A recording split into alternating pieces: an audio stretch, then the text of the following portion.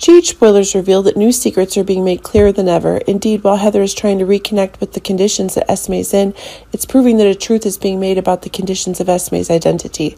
Remember that from the get go, everyone is agreeing that it is Ryan who is Esme's biological father, and beyond that, it is the new explosive conditions that are increasingly causing Esme to act horrible.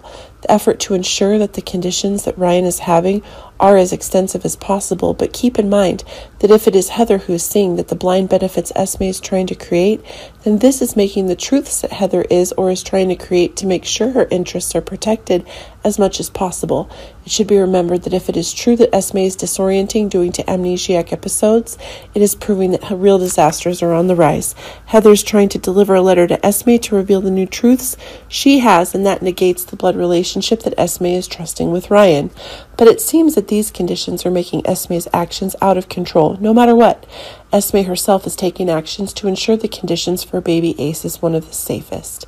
But keep in mind that by denying the conditions that Ryan has, Heather herself is also having the conditions that she wants to get the conditions of the rights that Esme can get if she does the following things event that Heather wanted.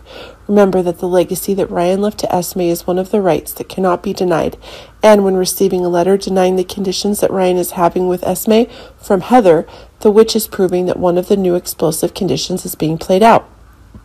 It should be remembered that Esme is in need of money to secure custody of her children, and as the fortunes that Ryan has with the conditions that Esme is looking for are becoming increasingly clear. But if it's Esme who wants to get Ryan's terms, and when Heather is having objections, that's turning things upside down. But it seems that if Esme will have an investigation to make sure that the right conditions Esme wants are being delivered, and in the end it is possible to find that Esme is receiving a new shock coming to her, her beliefs. But keep in mind that Heather is in need of a new man to fill the position Esme needs as a father. But Heather herself is still not able to know these secret conditions are becoming more and more clear. Esme is receiving an update from Heather, and Esme is taking new actions in response to the conditions Heather is seeking, and it is proving that a crazy condition for a mother daughter battle is being created out as clearly as possible.